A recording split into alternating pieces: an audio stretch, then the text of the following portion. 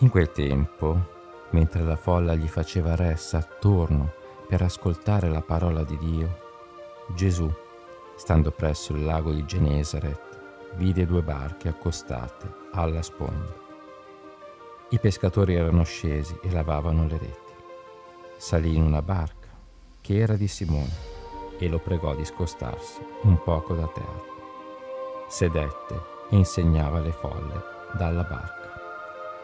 Quando ebbe finito di parlare, disse a Simone, prendi il largo e gettate le vostre reti per la pesca.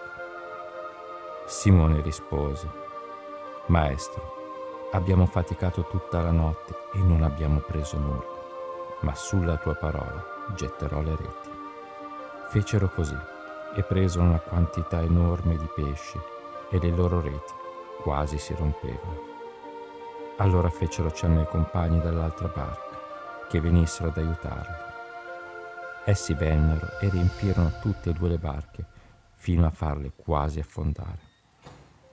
Al vedere questo, Simon Pietro si gettò alle ginocchia di Gesù dicendo, Signore, allontanati da me, perché sono un peccatore. Lo stupore infatti aveva invaso lui e tutti quelli che erano con lui per la pesca che avevano fatto così pure Giacomo e Giovanni, figli di Zebedeo, che erano soci di Simone. Gesù disse a Simone, non temere, d'ora in poi sarai pescatore di uomini. E tirate la barca a terra, lasciarono tutto e lo seguirono. Parola del Signore. Sia lodato Gesù Cristo, carissimi fratelli, questo è il Vangelo di oggi, primo di settembre mese degli angeli, giovedì.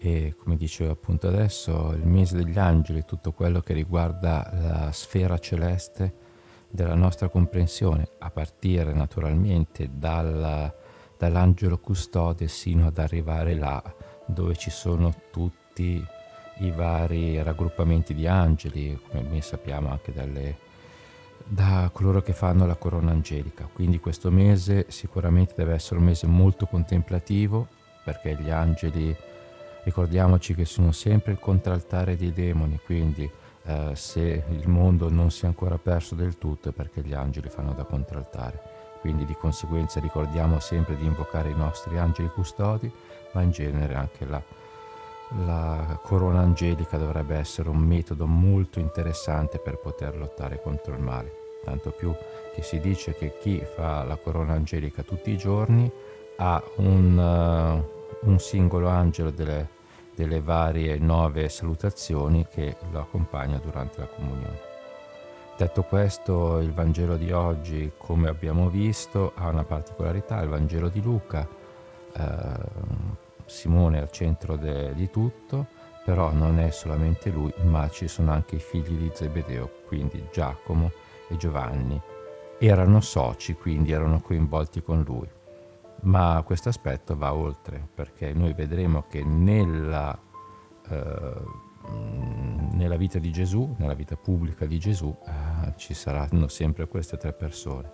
Adesso noi eh, che cosa dovremmo pensare? Dobbiamo pensare a quello che ha detto il nostro Signore in un altro contesto, quando ha detto attenzione che tutto quello che legherai sulla terra sarà legato anche in cielo e tutto ciò che scioglierai sulla terra sarà sciolto in cielo.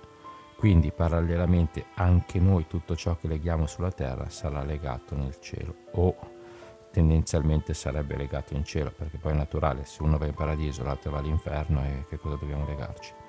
Quindi di conseguenza anche qui il Signore eh, si ritrova questa società fatta da Pietro, Giacomo e Giovanni e lui non la scinde perché sono delle persone che si sono eh, messe insieme, quindi lui non rompe quello che è il, il, tra virgolette, la società, il patto o eh, quello che hanno costruito insieme, ma bensì se lo portano avanti.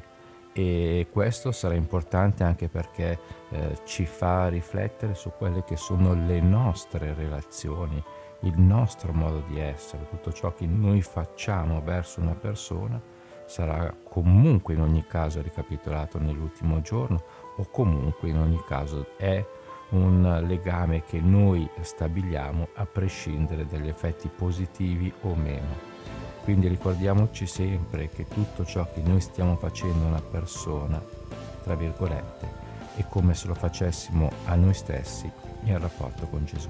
Sia lodato Gesù Cristo e buon mese degli angeli.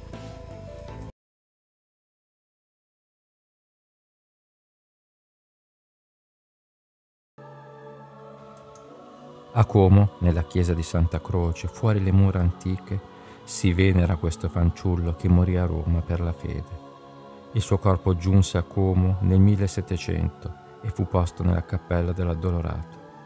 La notizia è tolta dal martirologio della chiesa di Como, redatta dal padre Luigi Tatti, comasco, autore che scrisse molto ma con assoluta mancanza di spirito critico. Tuttavia Dianea egli dice prudentemente che si ignorano l'anno, il giorno, il genere di martirio subito e il suo persecutore. Attualmente si ritiene che Anea sia uno dei corpi santi estratti dalle catacombe in varie epoche. La festa del santo cade la prima domenica di settembre, mentre i bollandisti pongono Anea tra i pretermissi del primo settembre. Ringraziamo Alfonso Codaghengo per il sito santibeati.it.